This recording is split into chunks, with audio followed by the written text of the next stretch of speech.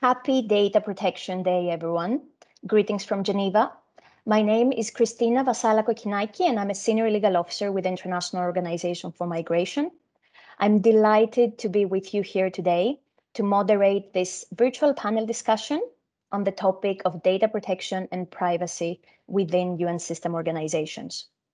As you already know, we have gathered five lawyers and data protection experts from different uh, UN entities, and they are really eager to come here and join us in the virtual room so that they can share with you all the information that they can about their data protection related work, delve into the challenges they're facing, and maybe some opportunities for the future.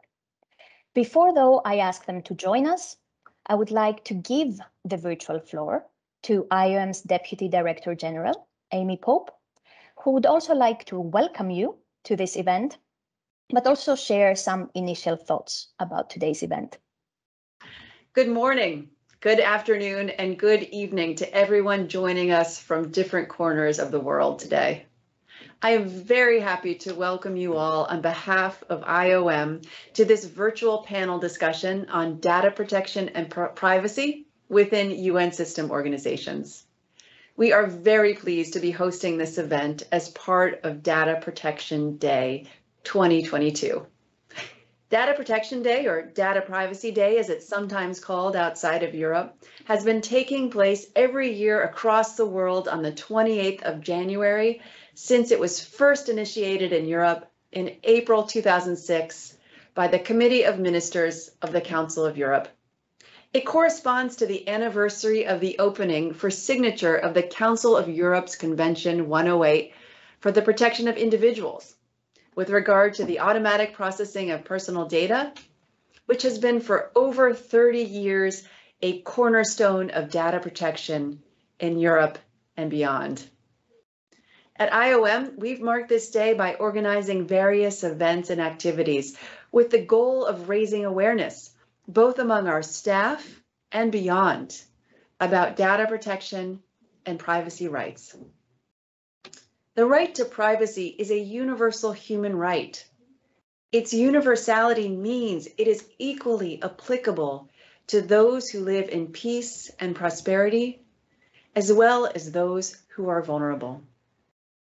Privacy enables the enjoyment of other rights, the free development and expression of an individual's personality, identity, and beliefs, and their ability to participate in their community's life.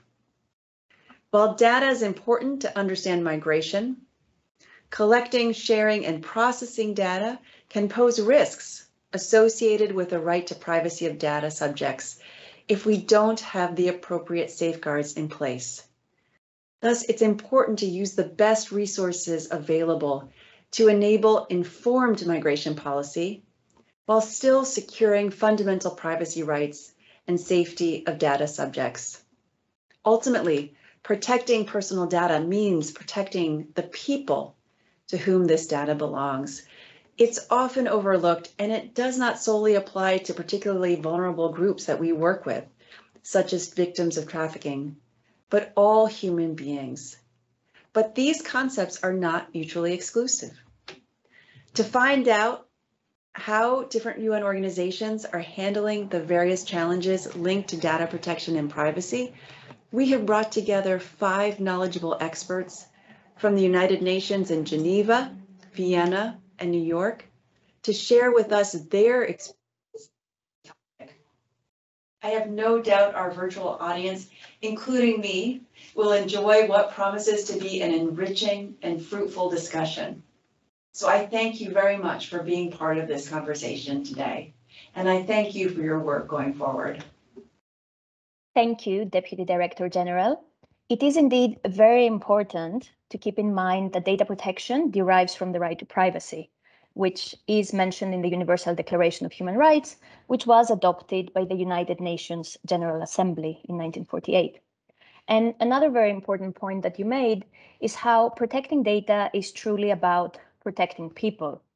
When we talk about protecting data, it's not about protecting, in a way, um, impersonal numbers, but it is about human beings. So um, I'm very glad to see that our panelists have our panelists have joined us in the virtual room just now. I would just like to make two quick points uh, before I introduce them to you. So first of all, very briefly to explain why is IOM uh, organizing this panel discussion today. So we are in January 2022, uh, Data Protection Day, and it has been a bit over three years since the UN system organizations adopted the UN Data Protection and Privacy Principles in 2018. So I think uh, since more than three years have passed, it's a good time to take stock about what has happened during this time and what are the plans of UN system organizations for the future. And one quick clarification here would be to say that the focus of the discussion will really be on the internal policies and procedures of UN system organizations. And my second point would simply be to tell you that in the next hour or so, what we aim to accomplish would be to truly delve into the world of data protection within the UN, to look into the challenges and identify opportunities. So with this in mind, I would like to start introducing our panel. So I would like to introduce to you uh, Giovanna Beaulieu, who is a senior legal officer with the ILO. Uh, we also have with us Isabel Robin, who is a legal officer with the International Atomic Energy Agency, and also Mila Romanoff, who is a data policy and governance lead, as well as a privacy specialist with the UN Global Pulse. We also have with us Christine Adam from IOM as well, Deputy Legal Counsel. And last but not least, Francesco Messineo, who is a legal officer with the UN Secretariat. So again, very happy to have all those experts with us here today.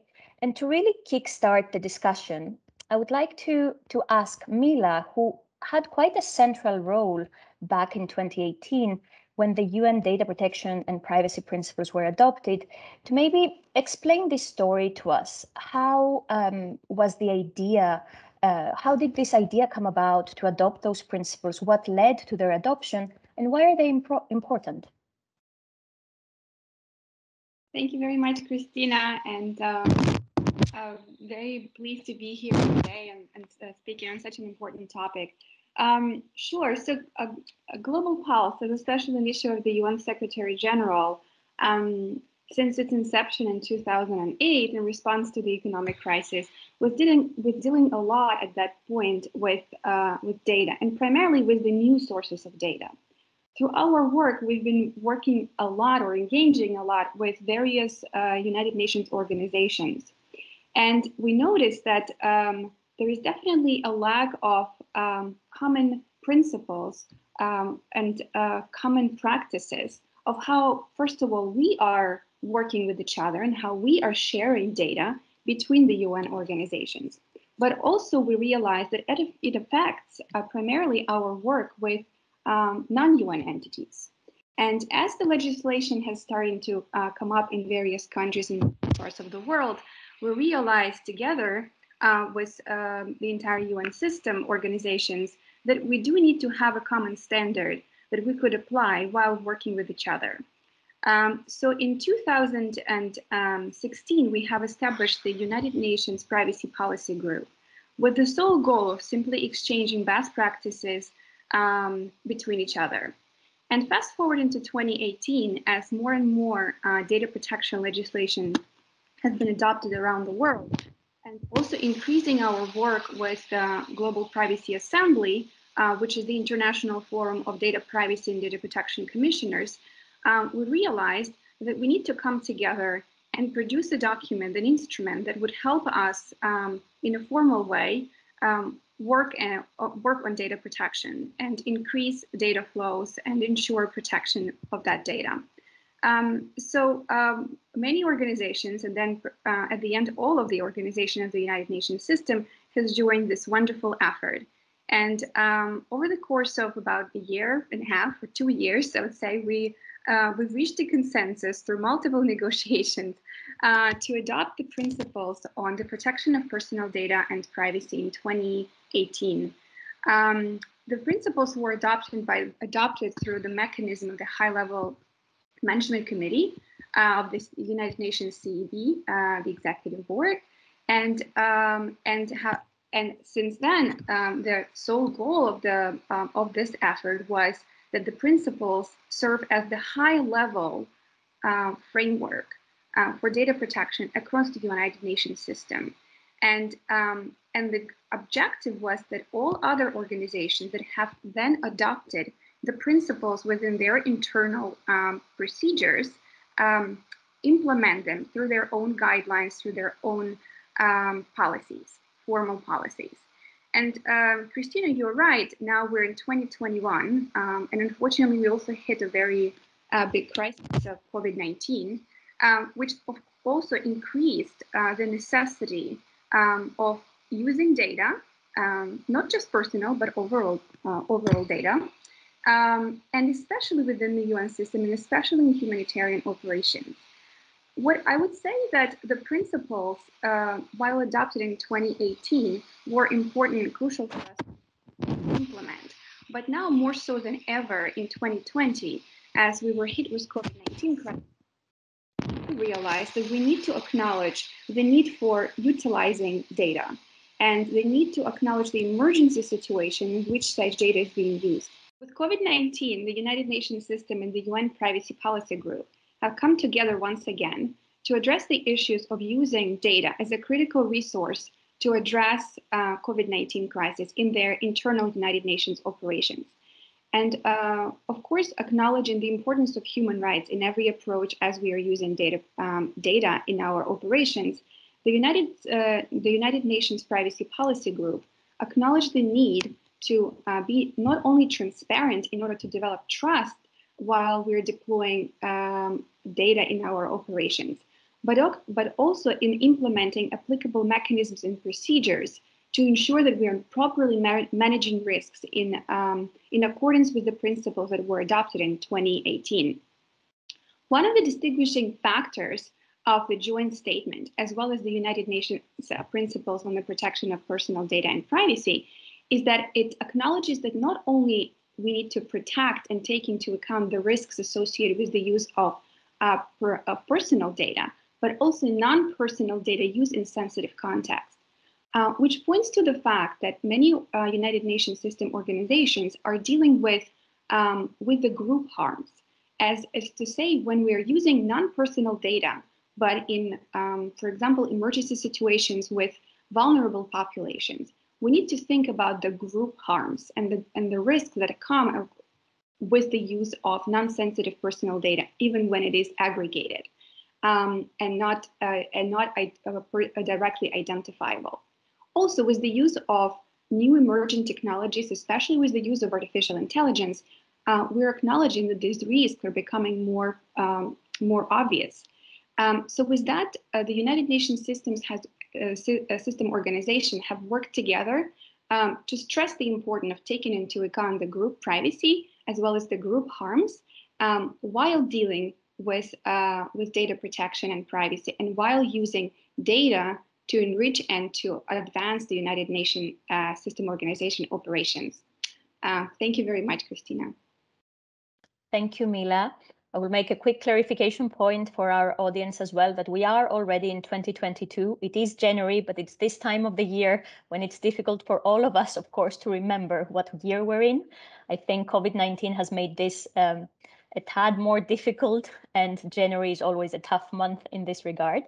But uh, thank you, Mila, in particular about explaining um, and um, highlighting the importance of the work of the UN Privacy Policy Group. I know that many people in our uh, audience come from UN system organizations, and maybe they're, they're not all familiar about the important work of this group has done.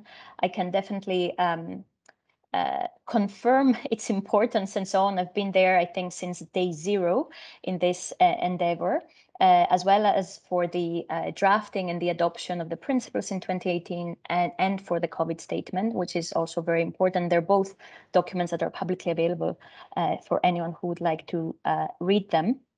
You also talked about uh, new technologies, which is, of course, an area of um, of quite a lot of, of interest since many UN system organizations are using or are planning to use more and more new technologies. And the, the advice from legal and data protection experts is crucial when the decision is being taken for those technologies to be uh, used. And with this in mind, I think we're nicely passing into our next speaker, um, coming from an agency focusing on nuclear technologies. So IAEA and Isabel so Isabel, I understand that um, the IAEA has adopted or had adopted back then in 2018 the UN data protection and privacy principles. So it would be interesting to hear uh, whether this is the policy that the IAEA is now following. How was maybe the existing policy influenced by uh, those principles? And what type of data processing are we talking about when we talk about atomic energy? Um, over to you, Isabel. Thank you very much, Christina. Thank you for giving me the floor. Um, introducing my, my, my response here, I'm just going to recall indeed that the IAEA is part of the UN system. It's a organization uh, based on a statute and relationship agreement with the UN. Um, just, uh, I believe, like the IOM, we have our own regulation and rules. Uh, but that said, of course, I can directly echo what, what Mila was saying. We adopted the, the UN Principle on Data Protection and Privacy in 2018. And in 2020, we issued our own personal data privacy policy, which is of course heavily inspired from the principle themselves. But we do, we did of course adapt to our legal framework. That policy specifically was supplemented by uh, additional separate procedure, for instance, for to record person um, to um, to handle personal data breach, and to basically, I believe now everybody is, is is really used to it, but to record virtual events as we as as as we just doing now. Uh, this is so. This is the data protection policy, uh, really sort of in a in a stricter sense of meaning. But of course, we have a set of uh, um, pre-existing policy governing several aspects of personal data. The agency that that constitute, broadly speaking, the uh, the data prevention uh, protection framework. And so now I can I can really refer, for instance, to the to the what we had already in place governing the processing of personal staff personal information, uh, security rules and CCTV at the at the at the premises at the headquarters, or the rules governing archive and and, and uh, record management, together with the retention schedules and the way that uh, personal data captures in these uh, in these tools, in these data retention tools. So the data protection policy, uh, so the, the principles are, are, of course, the backbone to our to our policy. Uh, for now, this is the way it is, but I can, I can of course mention that we are currently drafting a new, a new framework that will govern in more detail the data protection uh, governance framework, broadly speaking, together with processes and expected redress mechanism. Uh, and just uh, touching, of course, now on, on uh, and I'm sure we'll, we'll talk more about this later, but on third-party access to their data and possibly correction deletion. I just wanted to mention that we already have a set of guidelines in place that uh, allows us to handle consistently the requests from uh, data subjects. Um, and so I'd just like to take a step back and, and uh, since you asked the question about how, you know, how personal data is relevant under the agency's mandate, um, to understand this, um, it's important to know that um, by virtue of its mandate, information security has always been at the top of the agency's um, um, agenda. Uh, and specifically data governance agenda. Um, so you may know, um, the public may know uh, the agency as the UN nuclear watchdog, but of course there's, there's much more to a mandate. But it's always been the case that we've worked toward ensuring that the data entrusted, entrusted to us by the member states where uh, was was was securely handled, uh, and that uh, trust was over an overarching concern when um, when um, ensuring the verification of nuclear material on their behalf. And so in that regard, you know, data, data classification uh, has, uh, based on the level of sensitivity of this data, has always been uh, uh solidly anchored in, uh, in our in agency processes, broadly speaking. And so we didn't have any basically difficulty to adapt to the new requirements, so to speak, new, but of course they've always been there, governing that specific category that is uh, personal data. And so we've adapted the same sort of reflexes in terms of classification. And I can say that the agency's um, information security uh, culture was the, the entry point to introduce a, a solid data protection culture um, uh, in the delivery of a mandate. Um, so specifically, I mentioned, of course, the safeguards and non-proliferation. That's one part, but there, there's another part of the mandate, and that is, of course, uh, more more common to other um, organizations. The agency, uh, as part of its mandate, holds a high number of uh, scientific events and trains fellow on the on various aspects of the peaceful use of, of nuclear energy and um, the implementation of data protection policy on that aspect entailed, of course, revising processing and the way we process personal data of this participant and the meeting participant, and issuing the, the relevant privacy notices uh, in the registration process. Um, so I can I can mention this, of course, these two main aspects uh, of the of the mandates: uh, event organization, training, and and non-proliferation. But that said, I must I must of course uh, recognize that the, the, mandate of the agency is not geared towards um, service to individual beneficiaries. Um, when staff handles, for instance, data on human health, this would be data coming through aggregates in, in the form of aggregates so in a very de-anonymized manner. And so that wouldn't be a concern um, in the day-to-day work. Still, uh, in closing there on my, on my on my response, I'd like to mention that uh, data protection is now fully integrated in uh, in the delivery of all agency projects, regardless of department and area of work. And this include, of course, uh, the, the, process to to to ensure that, for instance, um, data protection is taken into account for instance, procurement processes and, and any IT, broadly speaking, any IT project. Thank you very much, Isabel. I think um, this is extremely interesting to hear. I think um, myself included, I was thinking of members of our audience, but myself included, definitely, uh, I'm a bit unfamiliar with the mandate really of uh, the agency, of the IAEA, and um, the designation of it being the nuclear watchdog and so on. But in terms of data protection, what I find very interesting is the link you made between data protection and data security, uh, and especially nowadays more cybersecurity. Um, I think that um, these are two areas of work that, of course, need to go hand in hand. Um, and and it's interesting how data security, in particular, is more. Um, uh, let's say applicable even to non-personal data, no matter about the type of information, as long as it is highly confidential, strictly confidential, it is important to keep it secure. Uh, but often I would say in the legal world, um, there would be some confusion about what is the difference between data protection and data security and isn't it the same?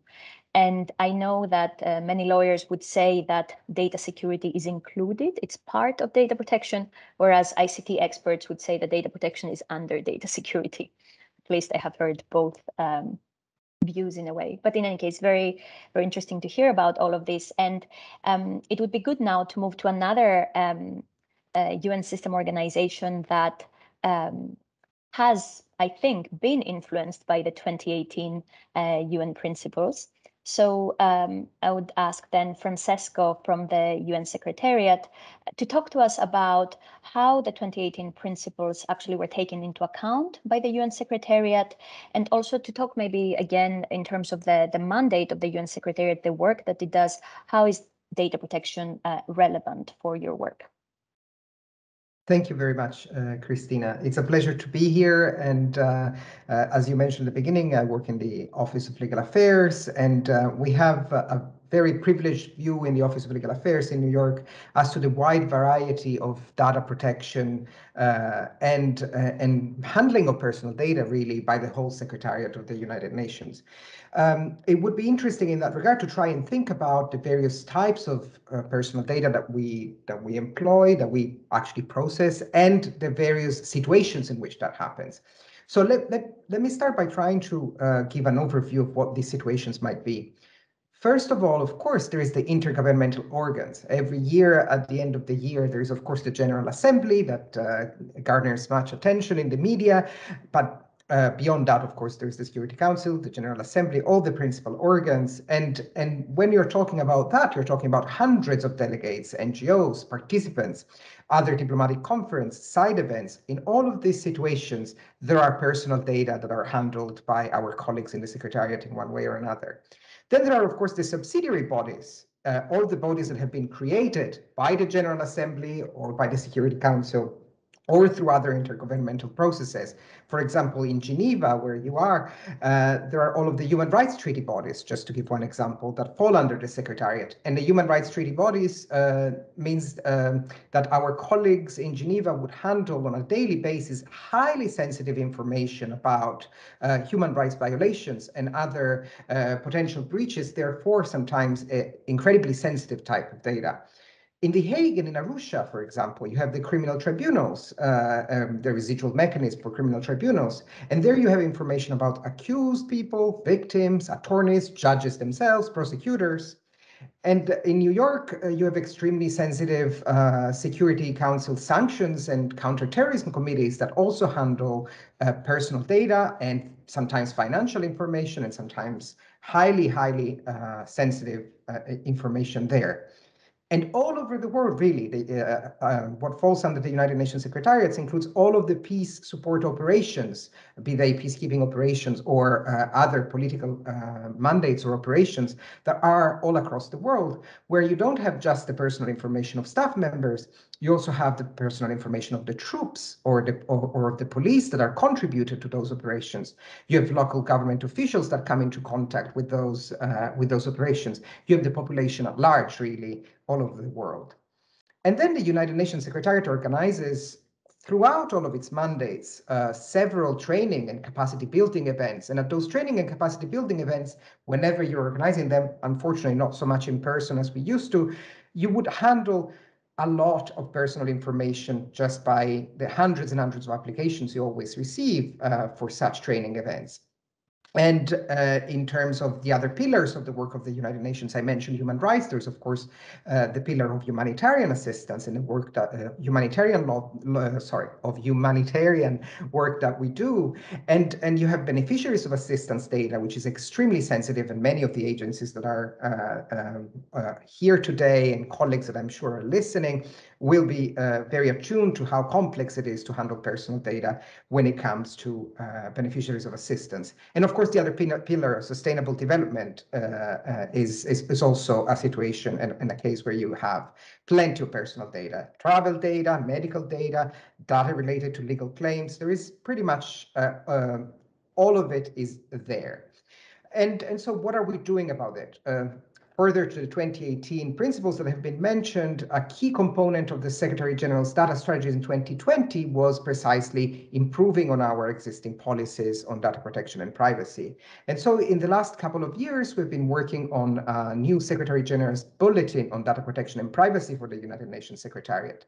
This bulletin, which is currently underway and is being um, uh, is being uh, worked on by Global Pulse. Mila knows a lot about it, of course, and OHCHR together with the Office of Legal Affairs and several other parts of the Secretariat is going to try and address uh, all uh, types of data processing within the whole secretariat and try to create an overarching framework that will be respect, uh, respecting privacy and that will also in a very innovative way take into account the aspect of group privacy that Mila was referring just now and so will mm, also refer to non-personal data in a sensitive context.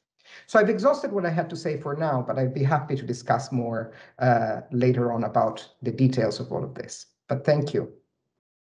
Thank you very much, Francesco. I think that uh, many of the people in our audience can very much relate to all the different um, processing operations and data subjects and so on that you referred to, uh, because truth is that uh, within one single legal entity in the UN, there's so much processing of personal data taking place, whether it is from um, a less sensitive nature, so to speak, such as meeting participants from a very small event taking place in Geneva, New York, Vienna, um, to extremely highly sensitive uh, personal data.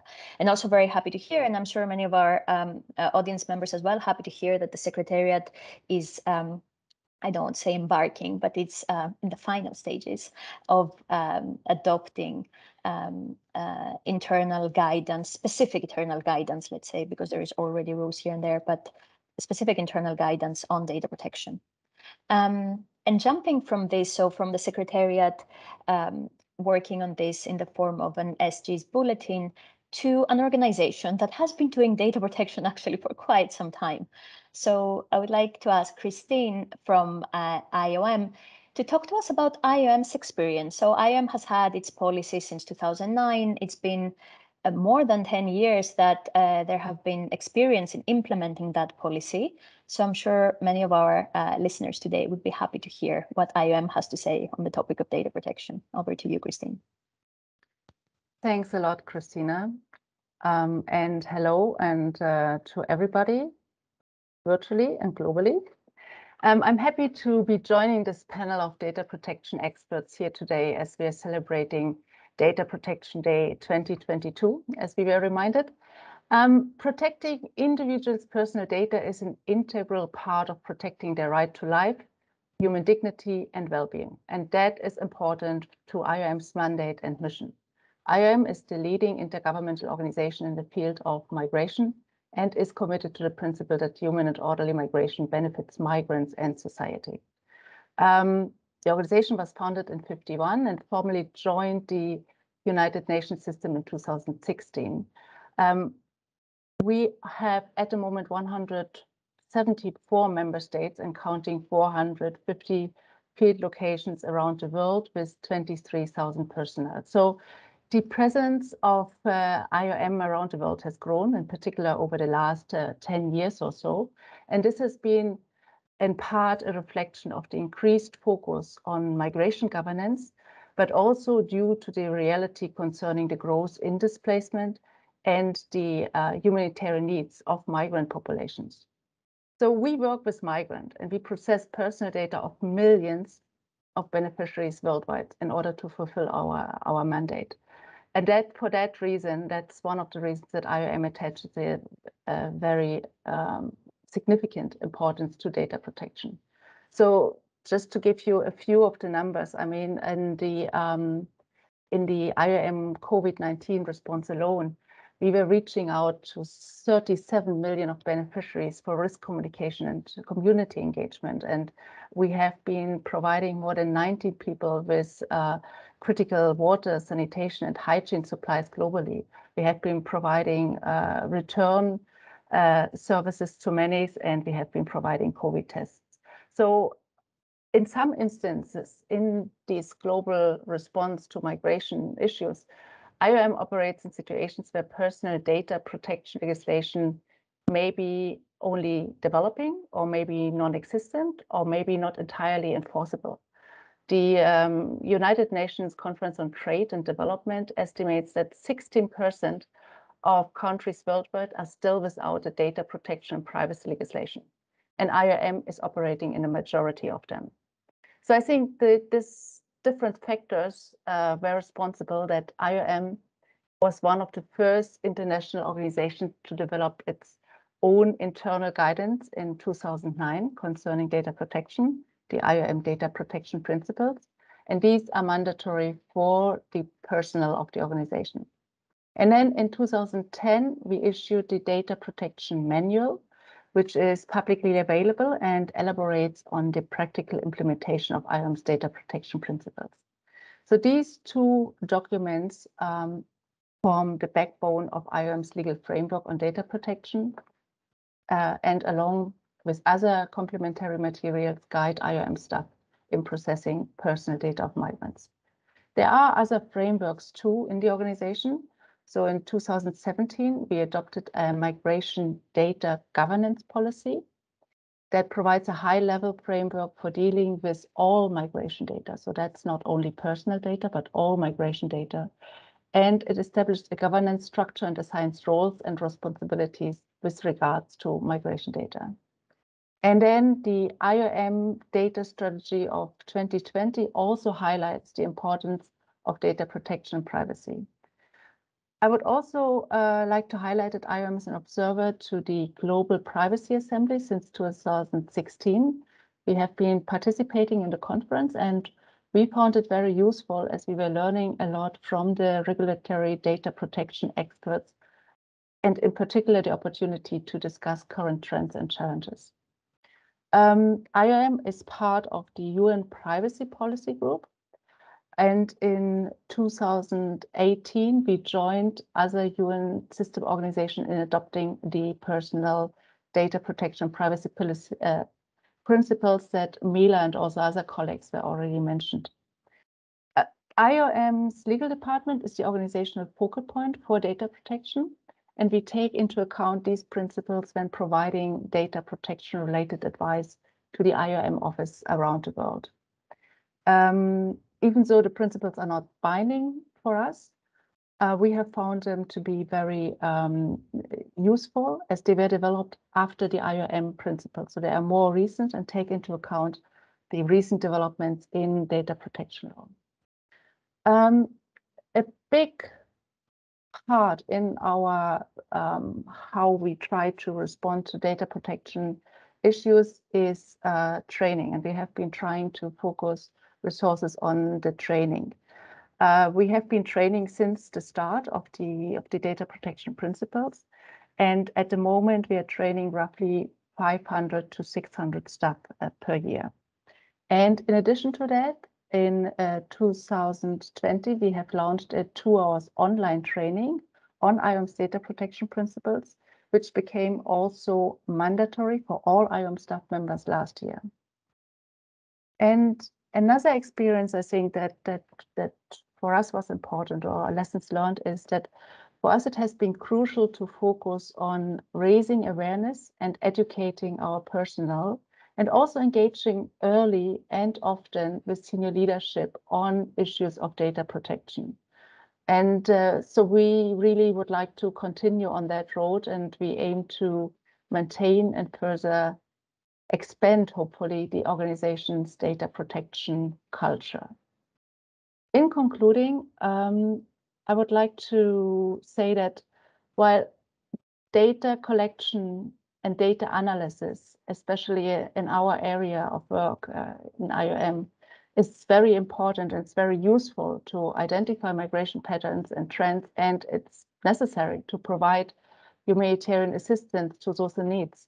On the other hand, we need to really protect and safeguard the privacy rights of migrants and uh, those rights cannot be overlooked in the process. And as already mentioned by IOM's DDG, um, data privacy and data protection are not about the protection of personal data, but are really about the protection of the people themselves. Thank you. Thank you very much, Christine. I think the engagement of senior leadership that you mentioned is extremely crucial. Again, many of our audience members can relate to that.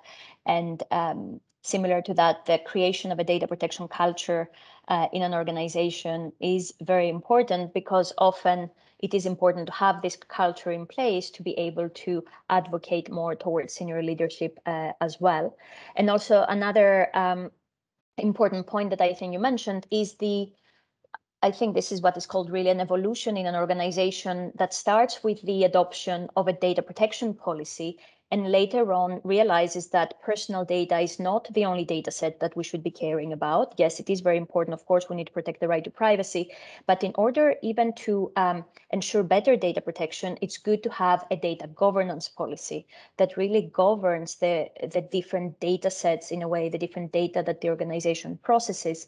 So, and then on top of the data governance policy, having a clear data strategy. I think these three levels have um, been very um, clearly elaborated in IOM one after the other as it happens in all organizations from uh, the bottom up um, in the past years. So thank you for explaining this as well. And now I would like to move to Giovanna. So Giovanna works actually in a unique uh, tripartite organization in the UN family, which I always found extremely fascinating, uh, this tripartite nature. Um, and uh, understanding also that the mission of the ILO is to promote decent work for all workers around the world. Um, I think it would be interesting to hear from you, Giovanna, um, how is data protection reflected in uh, the ILO's work? Thank you, Christina. Um, thank you very much for the invitation to the Data Protection Day, which we've given some more um, attention to in recent years. Yes, the ILO is the only tripartite organization where we bring together governments, employers, and workers uh, to discuss matters of interest related to labor standards and to develop programs that promote decent work for men and women. So Going to the question that you asked about how the ILO has been working with data protection uh, related to um, its mandate.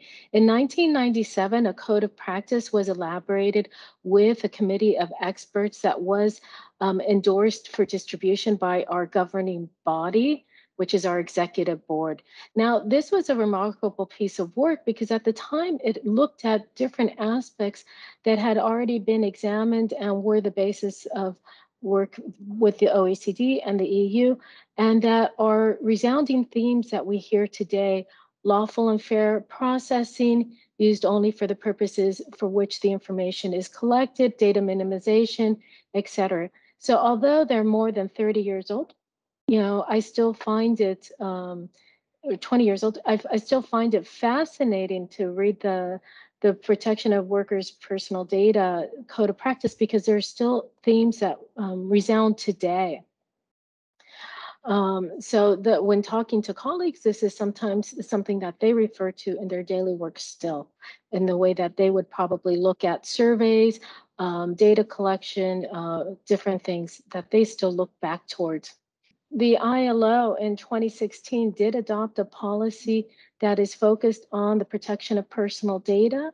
And those was um, those again are themes that we have uh, heard come out from the UN uh, Protection uh, Privacy Policy Group, and that talk about again the principles around um, authorized use, adequate, relevant, excessive, and not excessive. So the ILO does have a policy in place around the protection of personal data since 2016 that guides ILO officials on how data is collected and how it may be used and how it may be stored in all those aspects.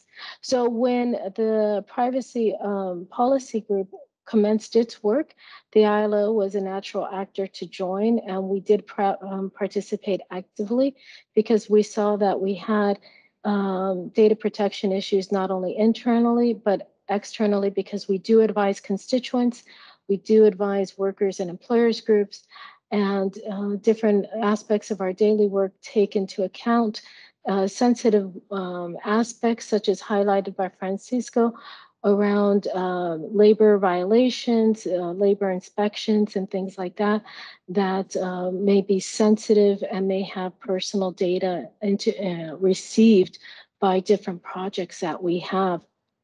So uh, one of the aspects that the ILO has been keen to focus on with us, um, with yourselves, has always been that uh, that ongoing discussion about the harmonization of standards across the UN system and to facilitate the accountable processing of personal data. So I think that these types of conversations amongst ourselves also raise the awareness of officials um, so that when they're handling personal data, that it's not something only implicit in their day-to-day work, but that is something that has to be more structured and formal so that they can um, take it into account in a more, um, yeah, in a, in a better way in their daily work. Because we're all looking at ensuring that um, human rights and those fundamental freedoms of individuals are protected and they can lead to discrimination in the workplace um, if personal data is relieved, whether it's our health status, we have a recommendation on HIV and um, AIDS uh, in the workplace, to give an example. So health status would be a concern. The ILO has been uh, doing quite a bit in the sense of what we heard about data security. We are an ISO 27001 certified organization that looks at the information security management systems, that looks at having the different, um, is a comprehensive framework uh, for the information security systems, and that help to ensure uh, integrity and confidentiality of information. We have colleagues um, in IT and in other units that are looking at improving and keeping up to date systems. And that's an ongoing conversation. Uh, as a result of the interaction with the privacy policy group in 2018, we formed a um, an informal working group at the ILO between legal, IT, uh, procurement, et cetera, to begin to brainstorm how we can take into account data protection in different aspects of the ILO's work. Uh, since then, we've uh, reviewed and renewed the ILO's terms and conditions that now have um, specific data protection language, including breach notifications and other aspects that need to be taken into account with vendors for goods and services. This has been a, a, very important aspect of, of the work because sometimes we call upon third parties to deliver services to the ILO and they may be given information um, that has personal data. And so we've had to agree around certain themes to be a little bit more detailed than it was in the past. So that's been an area that we've looked at, just closing some gaps. We've also conducted a mapping exercise with key units about where personal data is uh, contained. Sometimes it's about ILO staff, sometimes it's about vendors, and sometimes it's about beneficiaries. And that work continues because as we're all looking to see is how we can uh, best receive and treat and maintain and safeguard that information and also discuss other areas around data minimization and um, using the, the data for the purposes that it's been provided for. But um, the ILO in its mandate, we see continues um, to collect and use data, not only uh, personal data, but as you highlighted, um, is part of the UN data strategy. We, we collected quite a bit of data that is anonymized, and there has to be uh, that uh, aspect that is uh, taken into account uh, that we've talked about in passing about the UN data uh, Secretary General's data strategy, and that's really important because that helps the work of each organization. I did want to mention one thing that you also brought up, Christina, is around the cybersecurity, and you know there's an area there that we've been we've begun to look at through our um, IT colleagues who are members of the, um, it's called the Interagency Security Management Subgroup. And they've been looking at the JIU report on cybersecurity that I think will have a little bit of impact on the work that you do and that we all do here this year as we're looking for looking at different aspects. So presently, the um, data protection function is devolved to the Office of the Legal um, Officer, and that uh, officials that collect data are responsible for the management of that data. So as a result, we're looking at raising awareness of the of colleagues and how they manage and manage well the, the, the data that they are receiving and discussing with them different aspects.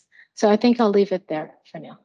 Thank you very much, Giovanna. Thank you very much for taking us back to 1997 and the very important guidelines of the ILO from back then on the protection of personal data of workers, which of course, I mean, the guidelines are from 1997, but especially in relation to health data, again, now with the pandemic going on, I'm sure it's a topic that we can all uh, relate to, as well as um, I really like that you um, highlighted the importance of building synergies within our own organizations with other uh, departments. I do know that the creation of yet another working group, of yet another task force, and so on is maybe I don't know. It it might not be uh, particularly uh, seen as um, um, let's say um, welcoming for uh, often in the in our respective organizations but at the same time having those synergies uh, is very important. So we need to find a way to make this work.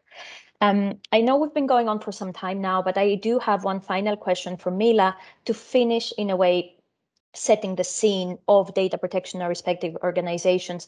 Since Mila talked to us earlier about the work of the UNPPG and the adoption of the data protection principles, I would just, uh, but she works at the UN Global Pulse. I think Mila, it's, it's really nice if you could talk to us a bit about the work of UN Global Pulse specifically on data protection.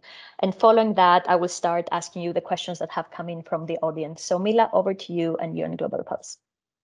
Um, thank you, Christina. I'll be brief. Um, uh, indeed, the reason why we, as, as I mentioned uh, at the beginning of my uh, introductory remarks, is that the reason why we started this effort um, across the UN system is because it was helpful to our internal operations, and uh, specifically what uh, what we've noticed since I joined the team in 2012, but way before then, is that we uh, we needed to have um, policies internally and guidelines um, to help us work with uh, um, with non-UN entities because that's what Global Pulse's work is built on is um, ensuring that the United Nations has access to data and technology. And since, in, and since day one, uh, the mission of uh, United Nations Global Pulse was um, ensure that um, that we broker the relationship with um, not only governments but primarily private sector and open up, unlock the use of data by the UN. Um, and as um, as you know, in private sector and in many other governments, data protection has already data protection issues have been uh, much on the rise and been paid attention to very increasingly. Um, thanks to that, of course, many of the revelations since 20, uh, 2013, uh, but way, way before then. Um, so I would say that uh, um, in 2012, we started developing our internal guidances and procedures on data protection. And I want to say with um, um, admitting that actually we looked at IOM even before IOM joined officially the United Nations system. I still remember the day when I was looking at the manual and, and looking at all the guidances and principles, and actually will admit that that informed um, uh, our own uh, internal policy, uh, internal policies and, and principles uh, at the UN Global Pulse at that time, uh, back in 2012.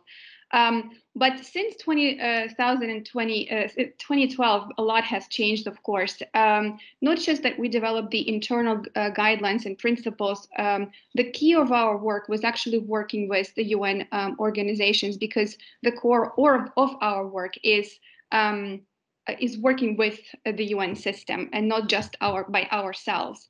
Um, hence, a lot of our uh, own policies and procedures were informed by the work of other um, entities with various mandates.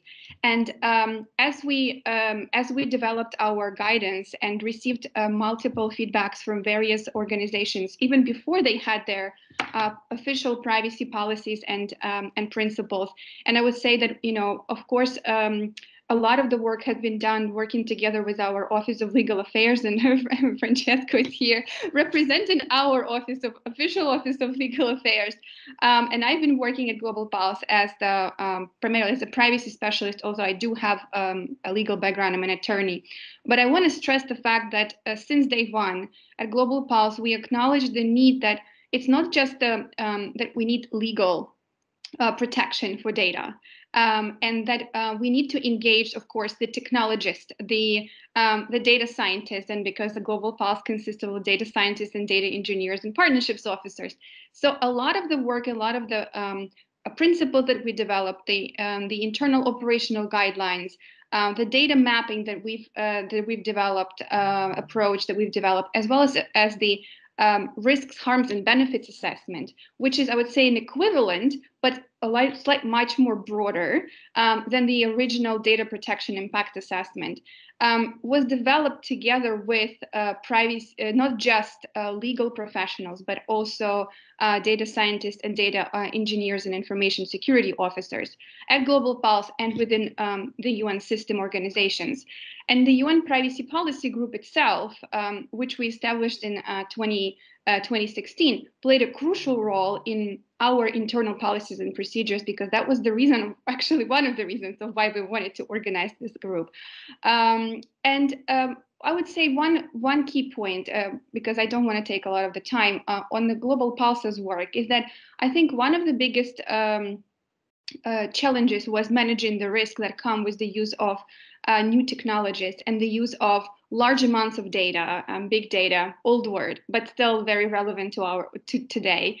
Um, everybody started talking about emerging technologies, artificial intelligence, um, but I do believe that it's all about data. Um, we have algorithms, but they're nothing unless we have uh, quality data used within those algorithms, no matter what type of technology we use. So with that, we developed a risks, harms, and benefits assessment, which is a tool um, to complement the um, the theoretical and policy uh, guidelines, right, and actually uh, helps us implement it in practice, uh, and which is based and acknowledges the risks of group harms that I mentioned before, but also uh, acknowledges the risks to of non-use in the data. Um, Global Pulse's work is is based a lot on what actually data the the Secretary General data strategy is about, right? That we need to utilize the value of data. And um, and uh, so what we acknowledge through approach and the way we approach our privacy practices is that it's not just about the individual uh, privacy. It's not about just the risk to individuals through the use of data, but it's also managing that risk of when we are not using the data in the United Nations operations um, to implement our mandates, and that it is our duty to actually manage these risks so that in the end we can use the data to help uh, people that we are supposed to help. Uh, so, sorry for the redundancy, but that's the truth. So um, the key thing I said I, I would say um, in, in, my um, final words is that um, while we are all implementing uh, privacy principles and uh, and they are the backbone of um, further policies and procedures that are being developed or have already been developed, they've been inspired by already a lot of the work that have been accomplished by many UN organizations uh, prior to the uh, adoption of the 2018 principles. Um, and I think this is just a, a, a, stepping stone, right, as we're moving forward in further implementing and acknowledging the new risks that are coming our way and working together as one. And I think that's the key thing of um, of the of the principles as well as us working together as the United Nations or system. Thank you.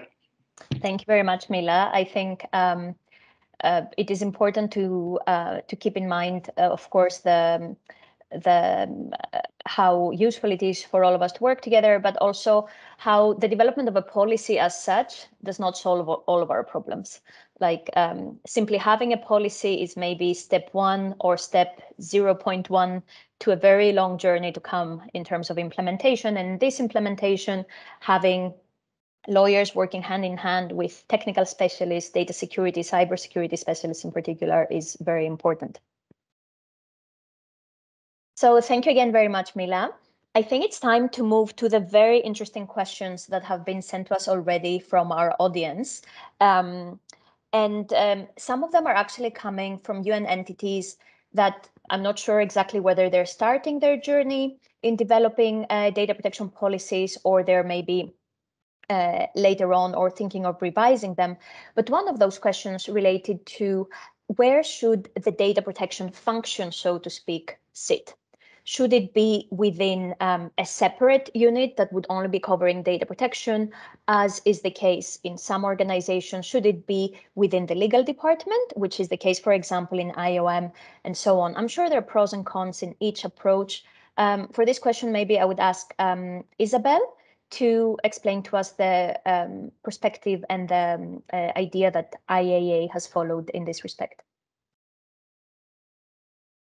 Thank you very much, Christina. And I will explain exactly uh, how the agency has distributed the roles, not sitting in one place specifically, but uh, distributed across different layers uh, of responsibility across the organization. Uh, first of all, of course, I want to refer to the our data protection officer. We have one central person who's responsible for providing guidance, ensuring compliance with our data protection policy. Um, and, and she's a, an administrative officer uh, within one of the department who's dedicating um, uh, half of time on this function. I cannot mention the structure without referring to the Chief Information Security Officer. It's a, a huge very important part of the of the of the work on this and he's actually supporting by ensuring that personal data are, are, adequately protected from also from a technical standpoint and of course cyber security standpoint as well we have a privacy working group who has been steering the policy and uh, overlooking the um, the implementation and it is um, it's it's it was created in 2019 so before of course the policy and uh, composed of, um, so to speak, the main data stewards, procurement, finance. We have in there all the different departments, division of, of human resources as well, and and our, our archive specialists, and of course legal. And then um, we have also represented in that uh, in that uh, working group our network of privacy focal points. These are the staff specifically trained and um, trained to ensure and to, to be focal points in the departments to answer and to address all internal questions uh, on the on data protection at the agency. And of course, um, across the different uh, uh, units, each uh, uh, head of unit can have separate roles on ensuring uh, adequate protection of the of personal data. So, of course, the the, the deputy general director who, who have this um, sort of overseeing role we have division directors who are called information stewards, uh, and they're just making decisions in terms of classification. Uh, we have our information custodian, who are the one who actually are uh, tasked with the with the actual action of processing the data, and they are uh, so responsible for ensuring that. Uh, adequate protection is is in place at all time, and we have this broad category, which is vested on all personnel to ensure that data are protected. And to, to make this happen, we have available training and we have a, a broad range of resources available to them online internally. So thank you, Isabel. Sorry to interrupt. I think that many organizations can get in, inspired by the, this one specific and concrete example from the IAEA. I'm going to jump to the next question because I know that many have come in, so I would like uh, the panel to answer as many as possible.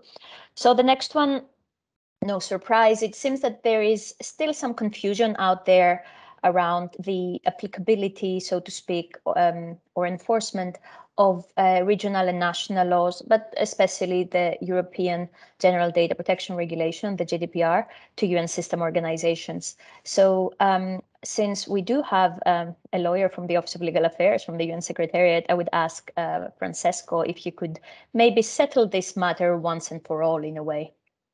Thank you so much, Christina. Well, the short answer is no, meaning that uh, uh, the regional and uh, and, and, and national data protection uh, regulations do not apply to the activities and the handling of data by United Nations system organizations. Um, this is because of our privileges and immunities but more fundamentally because it would not be possible for a small subset of the membership of the 193 members, or, or, or in the case of the United Nations Secretariat of the of, of, the United Nations General Assembly, it wouldn't be possible for a small number of those to attempt to regulate the activities and the inner working of the organizations uh, in relation to the handling of data. And the handling of data really is everything we do in a way. So it is such a fundamental uh, uh, aspect of our work that attempt attempting to regulate it indirectly or directly uh, would just not be possible. But just in relation to the European Union uh, General Data Protection Regulation, it has been also accepted by the European Union in dialogue that has been going on since 2018 with the European Union institutions, that the GDPR does not in fact apply to United Nations system organizations directly all of the problems, uh, practical problems that have uh, that have arisen are uh, mostly about third parties uh, that are bound, of course, under their own law uh, by uh, European Union law that believe that they are obliged by Chapter 5 of the G General Data Protection Regulation to actually attempt to impose certain obligations on a UN system organization that they come into relation with. But this is something that has created a, a quite a bit of practical problems and uh, the position of the United Nations uh, system organizations as a matter of law is that this should not be happening. And, and, and, um, and so I hope this very briefly clarifies this very complex issue, but I'm happy to discuss more when when when you're to. Thank you, Francesco. I like uh, having brief answers on this point. Like the answer of no is particularly, I don't know, useful. Uh, hoping that our audience members can just take no away from that uh, answer, or maybe um, some people watching us coming from the private sector who might be data processors of the UN might find this particularly um, enlightening in a way. So I think this is very useful to have a, a short answer in this way. Uh, we've had many questions coming in around uh, challenges that the UN system organizations are facing, and um, especially in relation to COVID-19 pandemic and so on. So I would like to ask uh, maybe Christine from IOM to talk about maybe one main challenge that IOM has been facing, especially given the the long experience of uh, applying um, a data protection policy. So Christine, uh, over to you. Uh, thanks, Christina. So there are a number of challenges, but maybe let me talk about the one that we are looking at right now uh, for this year and next year is the revision of IOM's data protection principles and the manual that I was talking about before. So we are starting a two-year program uh, in this area. And um, we, we are very happy that we have finally received funding for this initiative, but at the same time, it's of course a very challenging, challenging undertaking. So the program looks at the complete review of our legal framework uh, on data protection in order to update it with the latest developments uh, in technology and in data protection law. And we have heard that from Mila and we have heard it from others. So of course, um, the, the, the, the development in the data protection area, also in the technologies, cloud computing, artificial intelligence, etc., is so fast and it needs to be taking into account. Um, and we hope that um, that with with that new and and updated uh, um, manual that and, and principles that will take into account the, the recent developments. We hope that that will uh, help us to provide better and more targeted data protection advice to our operations. Now, what is the challenge about that is that we are in like many of the organizations here and like any bigger organizations that we are an organization that is operating in so many different countries and contexts. So our contexts are reaching from um, migration management over peace building and stability to humanitarian, and we need to take into account uh, these these different uh, many different aspects when when developing uh, new data protection guidelines. And we also need to take into account that maybe it's it's not like we're not talking about a framework only for one region, but it's a framework uh, that is supposed to cover many countries and all our operations in the world. So it's it's it's more more thinking I think needs to go into that. So we will have broad consultations with colleagues in IOM, but also outside IOM, up on substantive measures, but also practical issues, um, how to take to into account the different levels of connectivity, for example, in uh, different places we are working. So yeah, that's a little outlook from our side. Thanks. Thank you, Christine. And um, um, I will I will just move straight away to the next challenge question, which is around um, the impact that the pandemic has had in our data protection wor work. So Giovanna, over to you. If you could uh, enlighten us on ILO's view on how the pandemic has impacted our data protection work. Thank you, Christina. Well, we could look at it through um, some examples, such as the hosting of virtual meetings and transferring uh, participant information to third-party services. Um, that has required us to inform the participants through what would have been our old registration forms that their information is being transferred to uh, third-party service providers, for example. Um, so just taking into account um, good lessons that we've been looking at and saying how are we working in the past and what we need to adapt.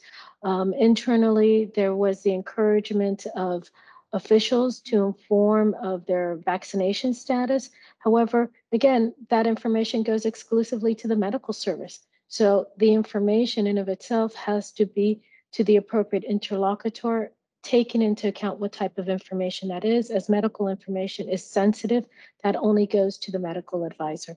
So that wasn't much of discussion. That was well understood by all that were involved in those um, conversations from the very beginning, but also in the field. You know, so you may want to ensure between the headquarters and the field that there's the same understanding and the same application of rules, and just always having that type of same uh, um, result because data protection in the headquarters or in the field deserve the same type of, um, of attention.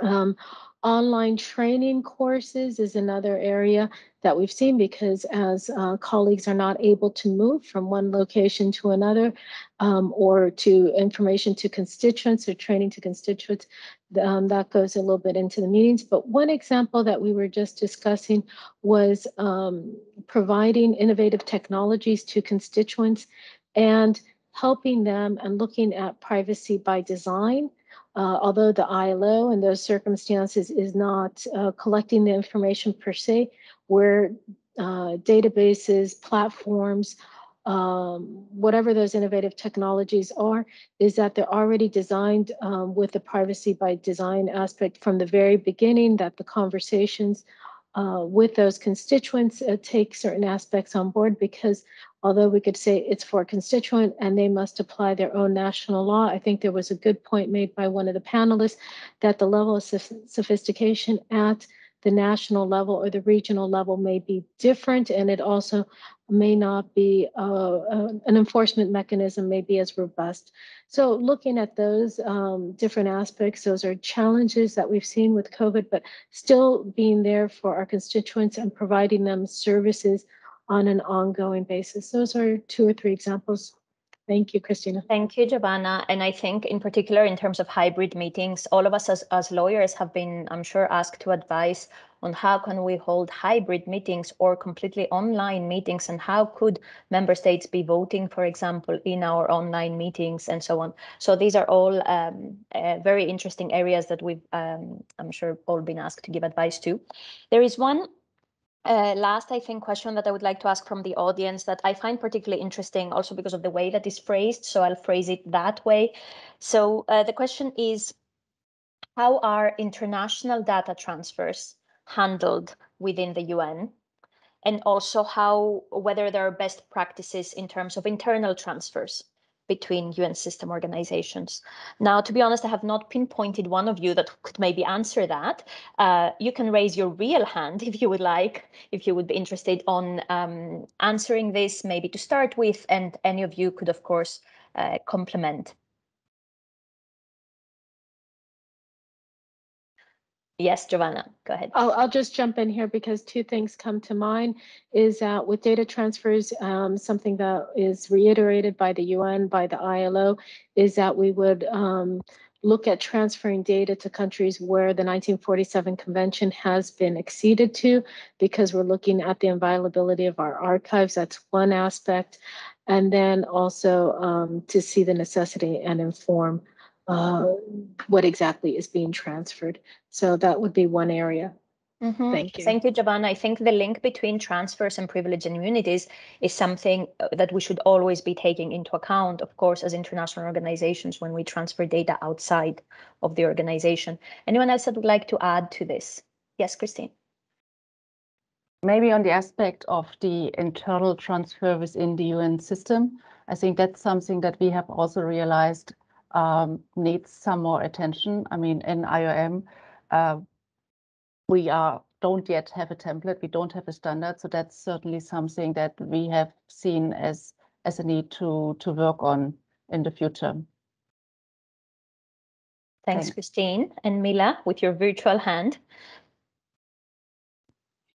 Thank you. Um, I would say that in, in terms of the data transfers, um, uh, I think in the, I, the one of the biggest steps towards data transfers, at least as, as we see it at UN Global Pulse, um, was one the adoption of the principles because in a way it kind of gave that um, common standard, right, or a sort of push, um, a more comfort level to exchange data within. Um, but also, I mentioned it before, is with the third parties.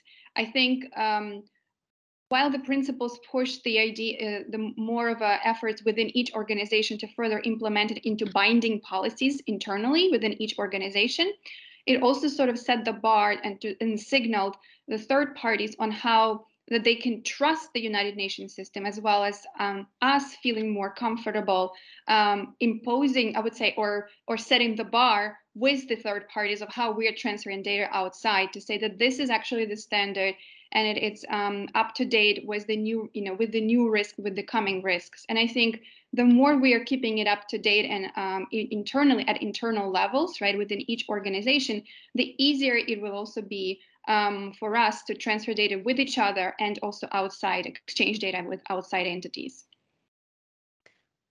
Thank you, Mila. And over to Francesco. I raised my normal hand. uh, I, just, I just, I just wanted to say, I think this is an extremely difficult conversation and, and, and one which I think we will need a lot of work in the coming years.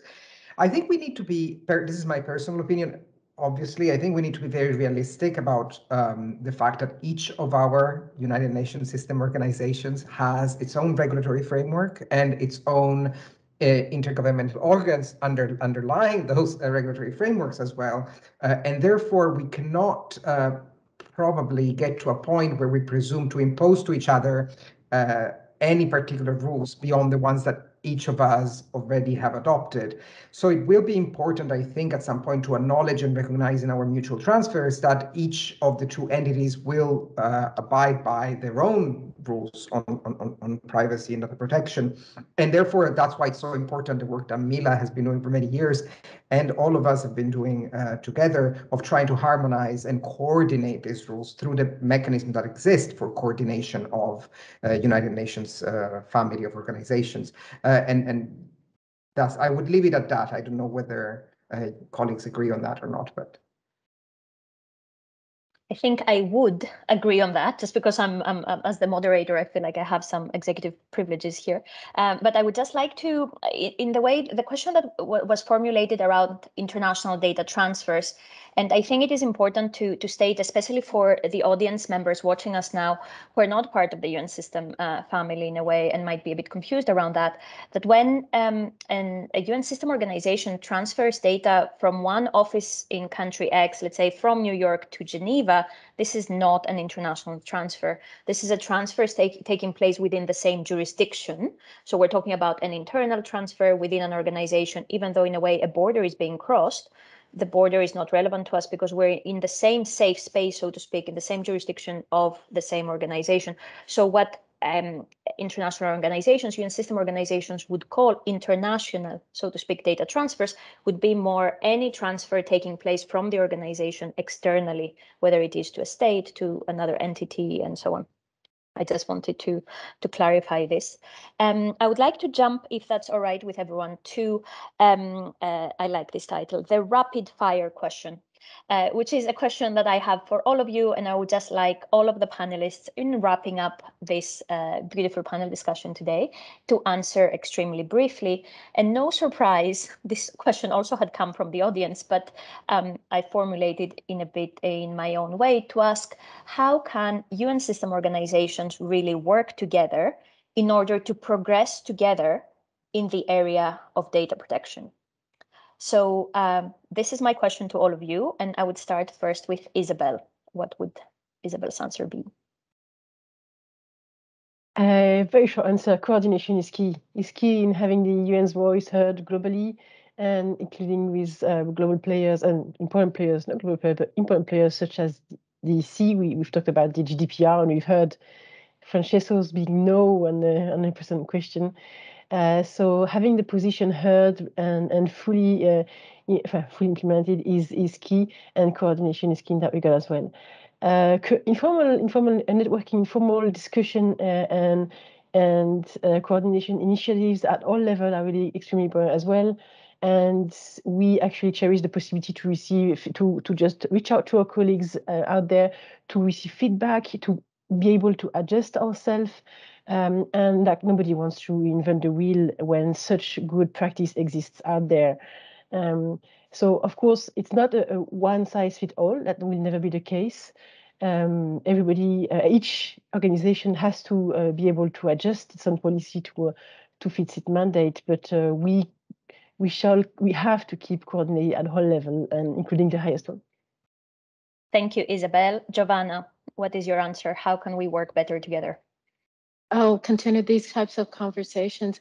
We see in the field that we will have projects with IOM or we'll have them you, with uh, UNHCR, and that we have to share um, data to assist constituents, to um, assist beneficiaries. And if we don't have uh, synergies, then it will be impossible to help those beneficiaries. So these types of conversations help to facilitate that work on the ground to the, the people that need it the most so that, um, as Francesco said, we have um, our own regulatory structures, but we have to be able to work together for our um, our beneficiaries. And I think that these conversations continue to assist that. And we've had a lot of conversations following from the 2020 uh, from the 2018 PPG.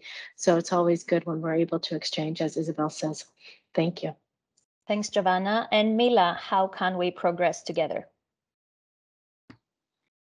Um, I would say, in addition to everything that has been said, uh, we need to take into we also need to work with non-un entities because i think we're all learning from each other from within but also uh, by working with others and i think it's crucial while we're building partnerships with the governments uh, civil society private sector and academia it's important that we're also engaging with those critical stakeholders. That's one.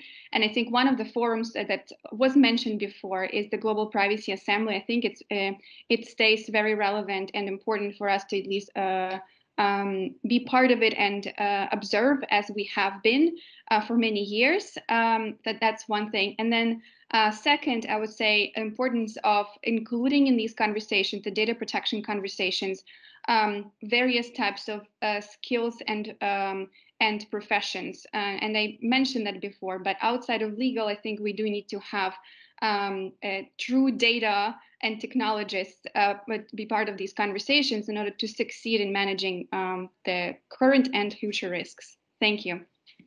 Thanks, Mila. And Francesco, your Uh, view thank- on thank how you. we can all work together. Thank you, Mila, for bringing in multi-stakeholder approaches, which are so important to the Secretary General these days. But as the lawyer, allow me to say, do not necessarily create new entities. We have the CEB, the System Chief Executive Boards of Coordination of all United Nations System Organization, and, and those processes can actually be very helpful in trying to bring together the whole UN family. Was that short enough? It was, it was. That's great, Francesco. Thank you. And over to Christine. Thanks. Um, I think harmonization, um, working towards better harmonization, because as Giovanna mentioned it, I mean, we are working in the same countries, often needing the same data. Wouldn't it be great if we would not need to duplicate the efforts, but could easier share data amongst each other and use it? So how this can be done? Having this kind of conversations, working together, looking at what can be developed in terms of agreement templates and how can we better uh, work on a common approach. Thanks.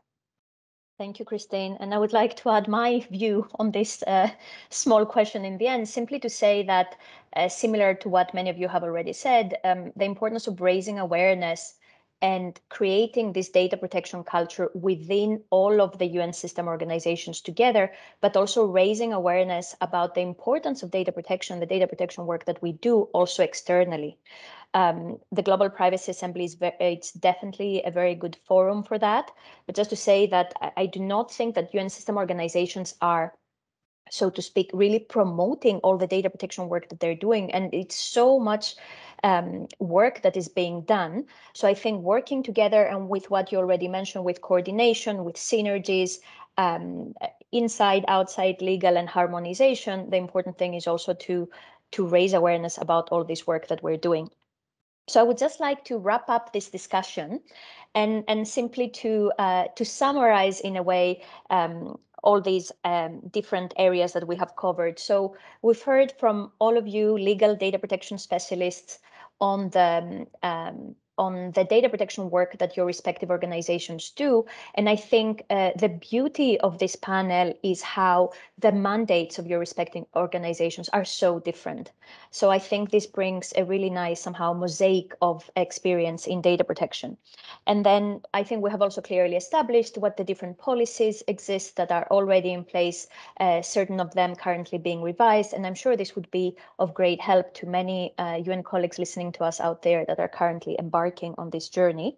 But we've also heard of a lot of challenges uh, that all of us are facing, whether they're linked to uh, the revision as such of uh, data protection policies or to their actual implementation, in particular when new technologies are being used and when um, more technical cybersecurity, be data security experts are needed, of course, to, to work with us together so that we are able to speak the same language and provide appropriate advice in these areas, or whether it is challenges linked specifically to the COVID-19 pandemic that we're still in those days. Um, but last but not least, those challenges could also be turned into opportunities, again, with uh, working together, with synergies, with coordination, harmonization, and so on. So I would like to thank all the panelists. Thank you very much, all of you, for your time today, for providing your insights in your data protection work. This is very much appreciated, and I'm sure that our audience has very much um, uh, appreciated listening to all of these uh, different views. So I would like to wish everyone a beautiful morning, afternoon, or evening, no matter in which area of the world you're in. And I truly hope to see many of you in future data protection discussions. Thank you all. Thank you, dear panelists, very much. Goodbye. Thank you, Thank you. Christina. Thank you. It's been a pleasure. Thank you very Bye. much. Thank you. everybody. Bye. Bye-bye.